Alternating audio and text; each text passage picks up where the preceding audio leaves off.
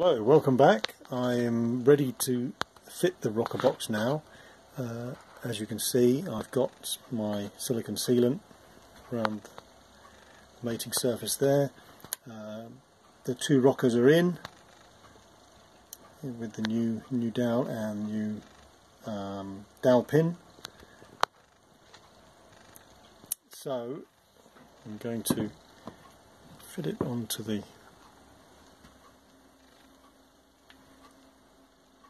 Sorry if it's a bit wobbly.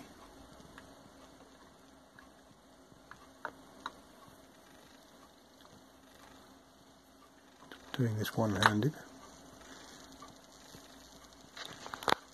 And then we'll just just tap that down so it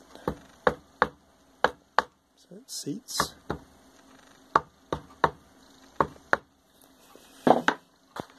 There's the decompression lever. So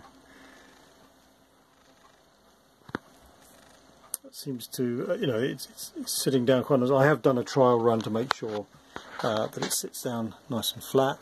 So while the silicon is still uh, flexible, I'll put all the bolts in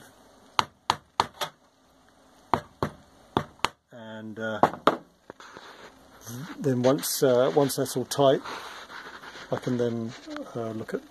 I've loosened these all off, so see there's plenty of plenty of clearance there uh, once it's all tight I can then go about uh, check, uh, setting the valve uh, clear, uh, valve you know clearances.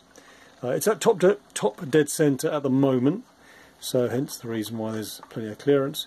Um, so once that's bolted down I'll get a better idea of how much I need to tighten up the, the valve clearances. But that's that's